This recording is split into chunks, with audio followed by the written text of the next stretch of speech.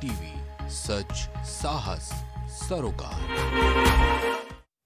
नमस्कार, आप देख रहे हैं प्राइम टीवी और मैं हूँ आपके साथ नंदिनी यादव। राजधानी लखनऊ में आज हज़ारों की संख्या में शिक्षा मित्रों का जन सैलाब उमड़ा। मौका था शिक्षा मित्रों के महासम्मेलन का, जहाँ अपनी मांगों को लेकर शिक्षा मित्र विगत कई सालों से संघर्ष कर रहे हैं।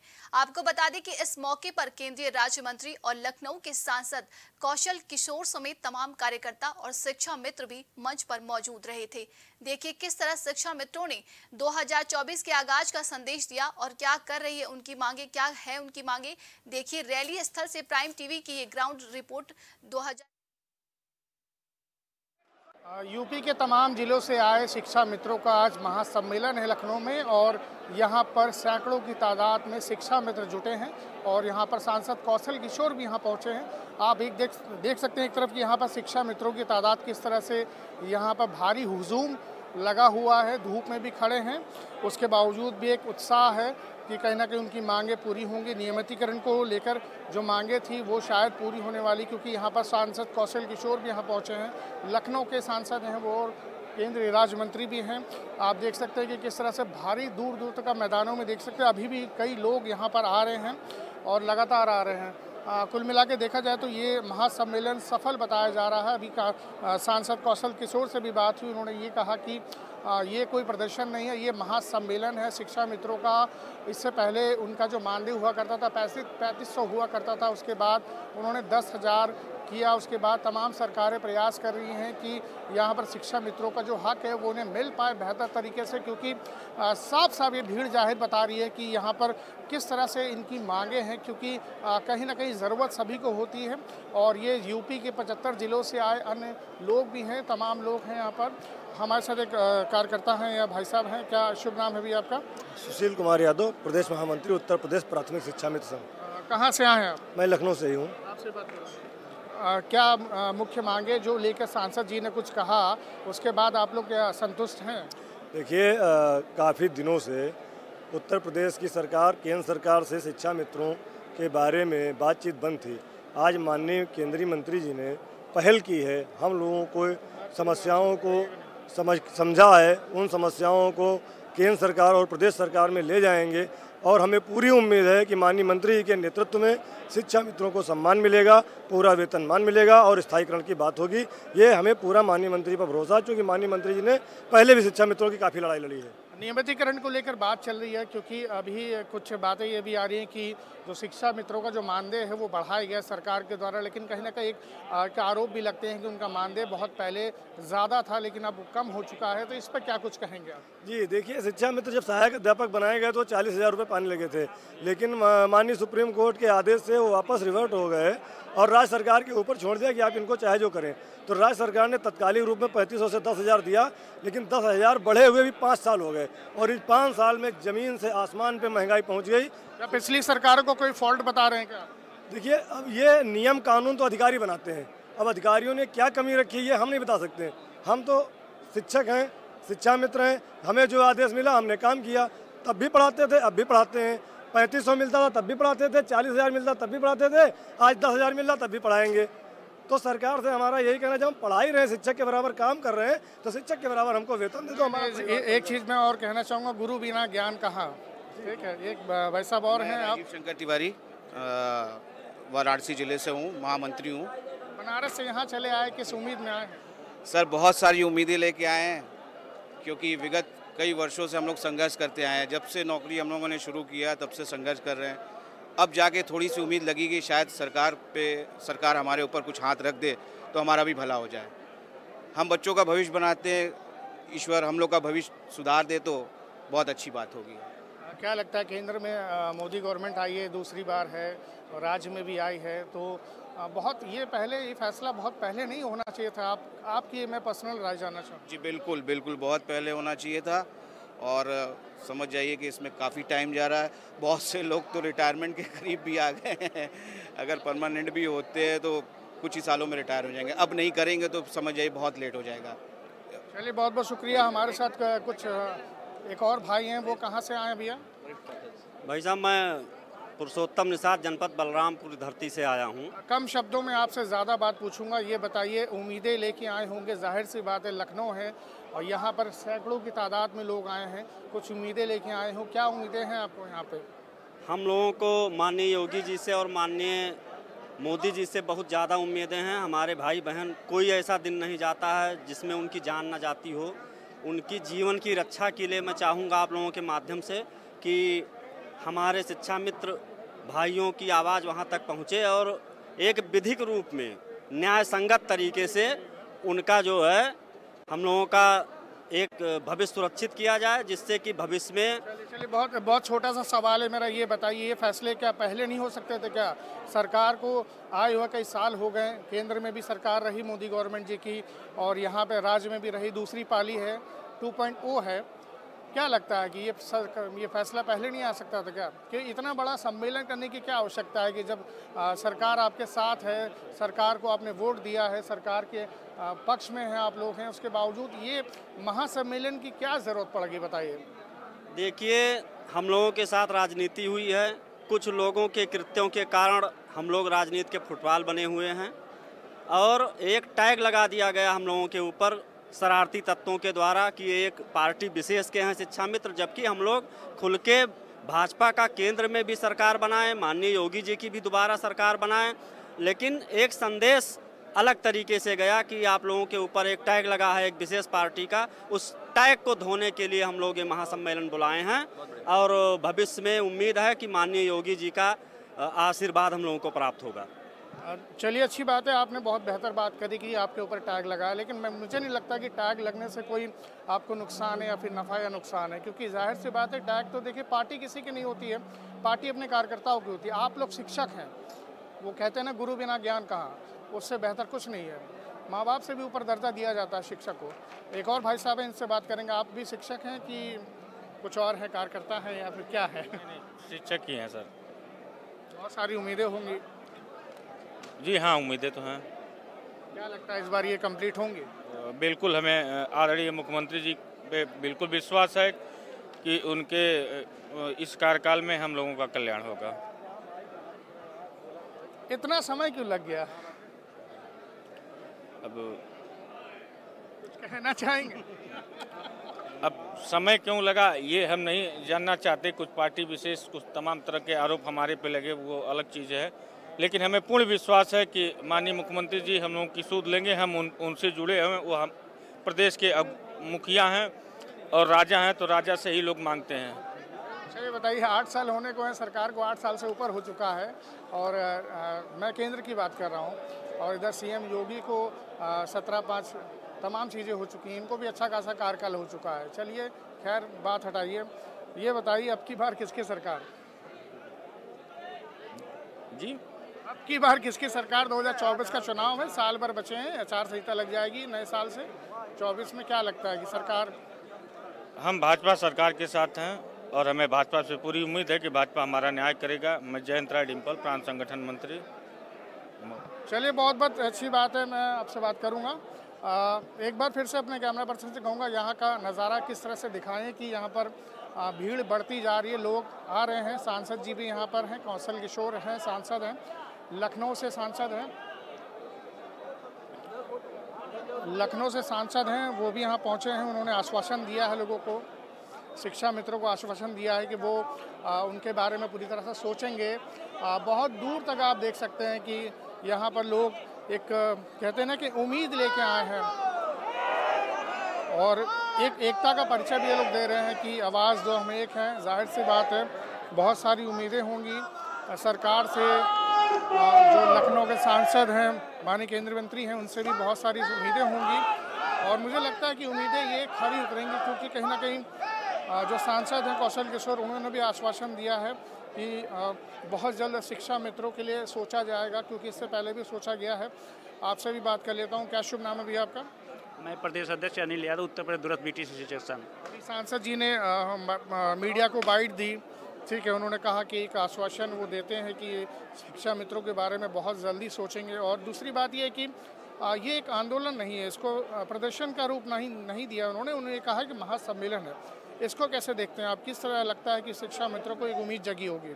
मैं इस महासम्मेलन से सभी संगठन एक मंच पे आए और ये उम्मीद जगी थी कि मान लीजिए, माननीय मुख्यमंत्री जी इस सम्मेलन को देखते होंगे कहीं ना कहीं से आप लोगों के माध्यम से और शिक्षा मित्रों के भविष्य पे कुछ उचित निर्णय लेंगे।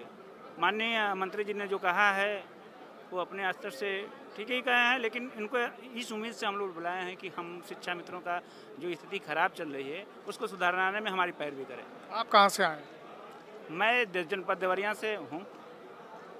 शिक्षा मित्रों की इससे पहले भी कई सम्मेलन हो चुके हैं प्रदर्शन हो चुके हैं और अब तक कोई निष्कर्ष नहीं निकल पाया। मैं आपसे एक व्यक्तिगत सवाल पूछना चाहूँगा कि इतना समय क्यों लग गया?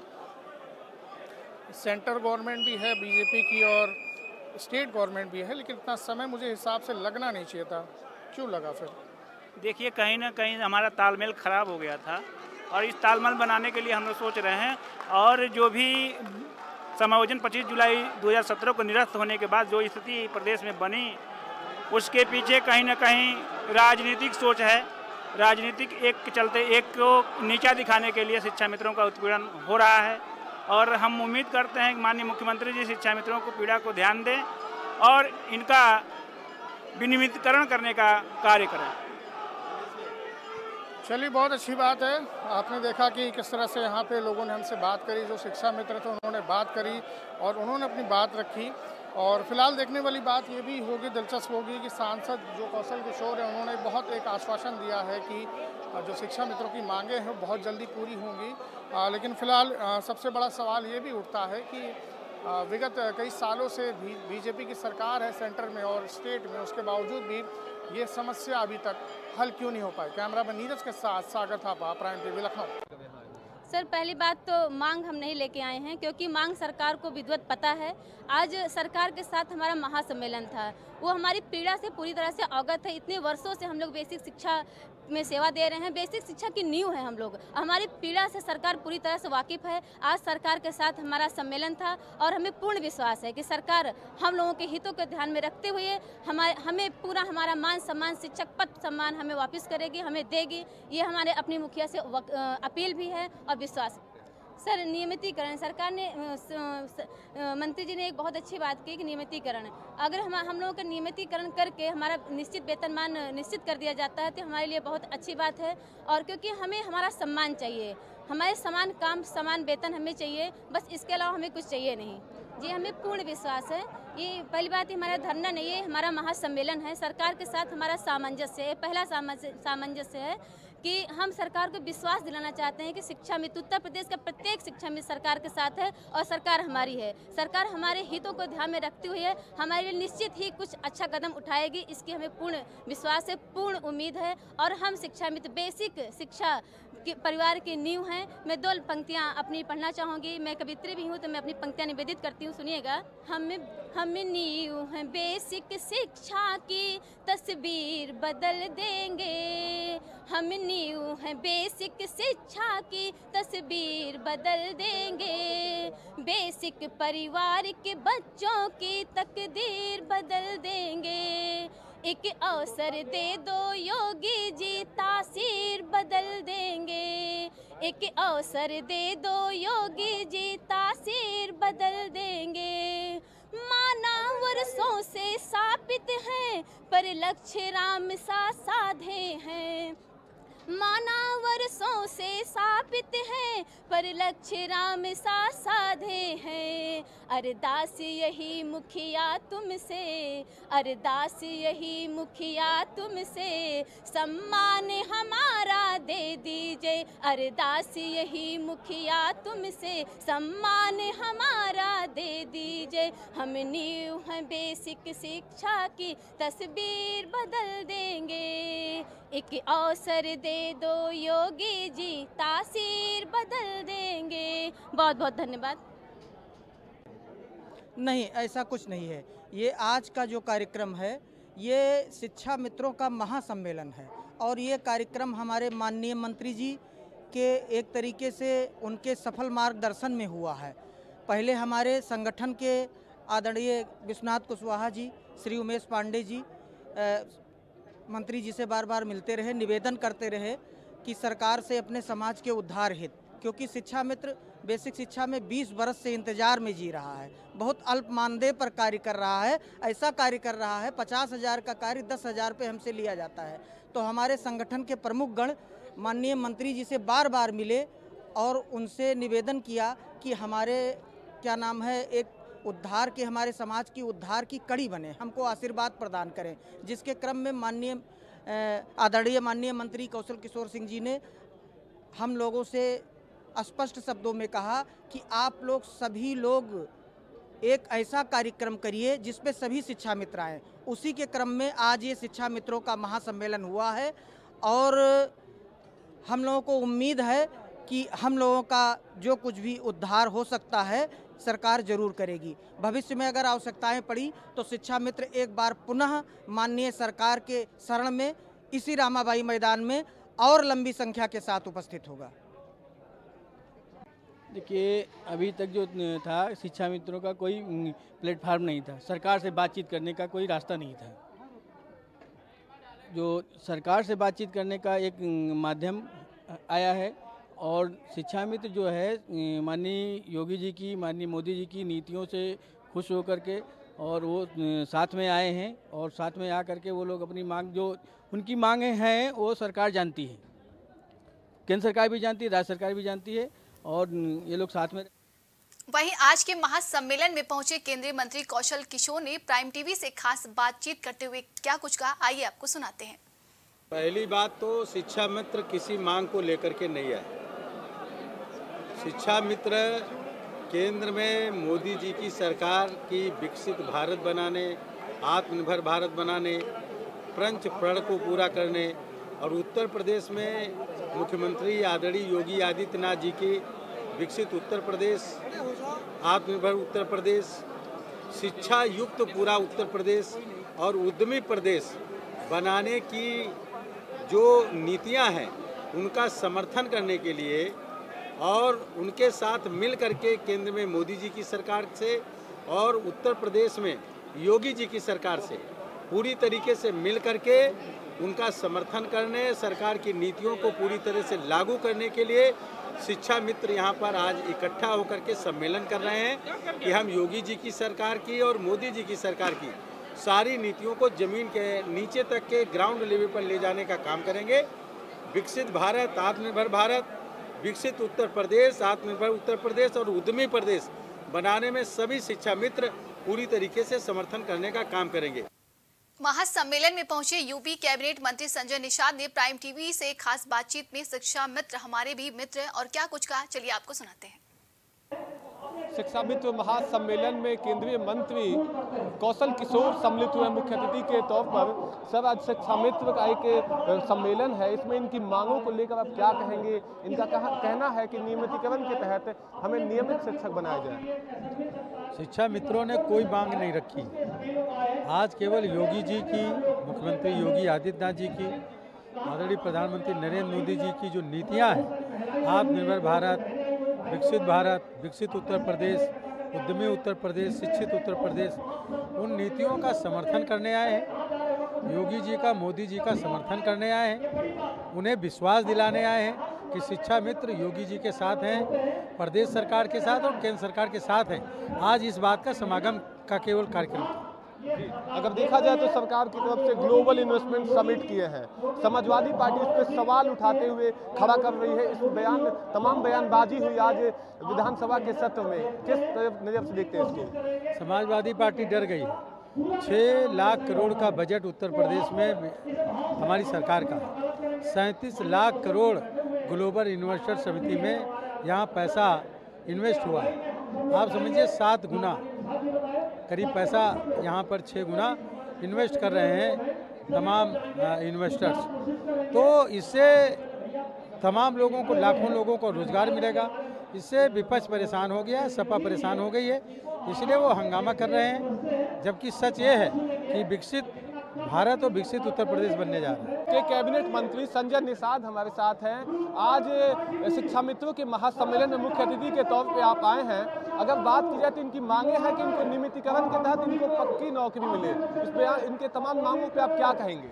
मैंने बता दिया, पिछली सरकारों की गलत नीतियों के शिकार हैं शिक्षा।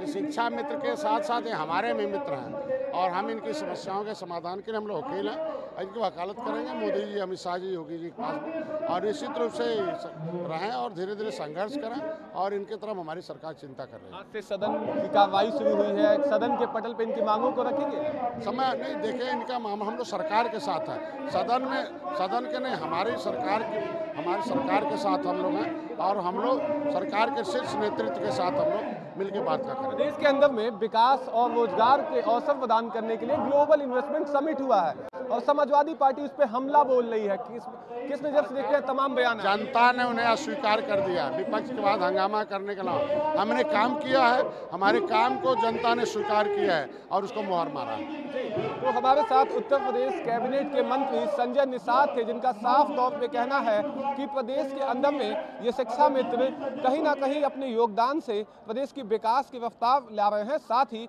उन्होंने कहा कि ग्लोबल इन्वेस्टमेंट समिट से प्रदेश की विकास में रफ्तार और रोज़गार के अवसर प्रदान किए जाएँगे।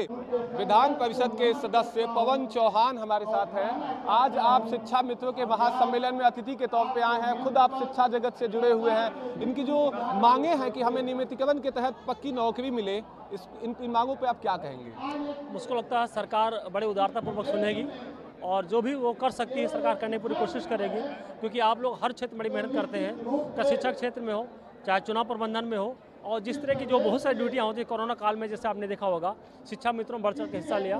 तो हर एक तरीके की जो सामाजिक और न्यायिक और व्यवसायत्मक होती है उस सब में सेवा करते हैं। तो इनकी सेवा को देखते हुए हमारी सरकार पूरी तरीके से आश्वस्त है कि कुछ न कुछ इनको प्रोत्साहन करने, देने की कोशिश करेगी। तमाम मांगे हैं। क्या सदन पे, के पटल पे आप रखेंगे? हाँ इनकी जो मांगे हम माननीय मुख्यमंत्री जी से मिल करके, पटन में मुख्यमंत्री मिल करके, उनके पास पूरा ज्ञापन दिया जाएगा और इनके संगठन के, अपने संगठन के लोग भी जाएँगे साथ में, वो भी अपनी समस्या अपने तरीके से रखेंगे। हम लोग उसमें पूरी वकालत करेंगे कि भाई इन लोगों की मेहनत है, उसके हिसाब से इनको लोगों को सपोर्ट किया जाए। आज भारी हंगामे के बीच सदन की कार्रवाई शुरू हुई। राज्यपाल महोदया का अभिभाषण हुआ। उसके ठीक बाद समाजवादी पार्टी के तमाम नेता और आरएलडी के नेता कह रहे हैं कि ग्लोबल इन्वेस्टमेंट समिट से कुछ बेहतरी नहीं आएगी और ये बस एक ढकोसला है। इस बयान पे आप क्या कहेंगे? मुझको लगता है जब भी जब हारते हैं इलेक्शन तो ई में गड़बड़ी होती है। और अभी जब शुरुआत थी हमारे तैंतीस लाख करोड़ का जो हुआ बजट ये विश्वास डाइजेशन नहीं कर पा रहे हैं। कि अपनी सरकार को कर नहीं पाए थे तो अब जी इस सरकार में इतनी बड़ी कोशिश करने के बाद हमारे योगी जी ने जो ज़ीरो टॉलरेंस की वजह से पूरा देश और पूरा विश्व हमारे यहाँ वैश्विक देख रहा है कि हमारे उत्तर प्रदेश को उत्तम प्रदेश बनाने के लिए लगातार काम कर रहे हैं। जहाँ ज़ीरो टॉलरेंस होगा, सुरक्षा होगी, संरक्षा होगी, व्यवस्था होगी तो वहाँ पर निश्चित है हमारा इन्वेस्टमेंट भी होगा और उद्योग को लगाने के, उद्योग को चलाने में सरकार हर तरीके से मदद कर रही है। इसलिए तैंतीस लाख करोड़ का जो आया है तो आप विश्वास करिएगा, हमको लगता है पाँच साल में हमारी दिशा और दशा दोनों चेंज होगी प्रदेश की। अगर बात की जाए तो कहा गया ग्लोबल इन्वेस्टमेंट समिट में कि हर एक क्षेत्रों में बेहतरी आएगी। तो बात की जाए तो शिक्षा के क्षेत्र से आप जुड़े हैं, क्या बेहतरी इसमें आएगी और क्या इस ग्लोबल इन्वेस्टमेंट समिट से इम्पैक्ट पड़ेगा उत्तर प्रदेश में, शिक्षा के क्षेत्र में? देखिए, दो चीज़ें होती हैं। जहाँ पर व्यवसाय बढ़ता है, वहाँ पर जॉब प्लेसमेंट भी बढ़ता है। जब जॉब बढ़ेगी तो नाइस बात है कि हर व्यक्ति शिक्षा की तरफ़ से भागेगा कि हम थोड़ी शिक्षा पा लें और कहीं ना कहीं हम जॉब पा सकें। स्किल डेवलपमेंट के लिए बड़ा काम हो रहा है, क्योंकि हर बच्चा स्किल्ड चाहिए। अब स्किल के लिए सरकार बड़ी तेज़ी से काम कर रही है। प्राइवेट कंपनियाँ क्या करती है? पहले रॉ मटेरियल ले लेती है। बच्चों को कोई भी B A B com B S C ले लेती हैं और उनको छः महीने, तीन महीने की ट्रेनिंग देती है देन अपने जॉब में लगा देती है। तो सबसे बड़ी बात है कि जो नॉर्मल बच्चा पढ़ करके आएगा, उसको भी स्किल दे करके उनको जॉब मिल जाएगी। ये बड़ी लाखों बच्चों को जॉब मिलेगी। ये बड़ा काम होगा। जी, बिल्कुल।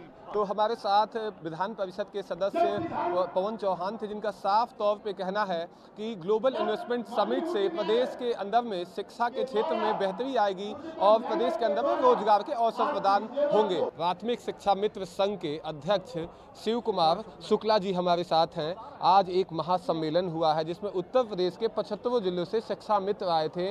नियमितीकरण और कई मुद्दों पर आप सरकार के साथ तमाम नुमाइंदे भी आए थे। बात करें तो उत्तर प्रदेश सरकार की कैबिनेट मंत्री और केंद्रीय सरकार के मंत्री आए थे। क्या आशा अपेक्षा है उनसे आपकी? देखिए, मैं शिव कुमार शुक्ला, प्रांतीय अध्यक्ष, उत्तर प्रदेश प्राथमिक शिक्षा मित्र संघ।